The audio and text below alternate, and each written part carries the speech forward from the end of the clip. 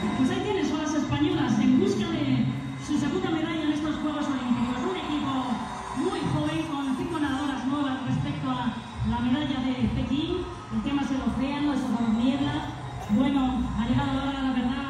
Las chicas, que salga bien ese ejercicio. Hay que pelear ocho décimas tan solo. Nos separan de China.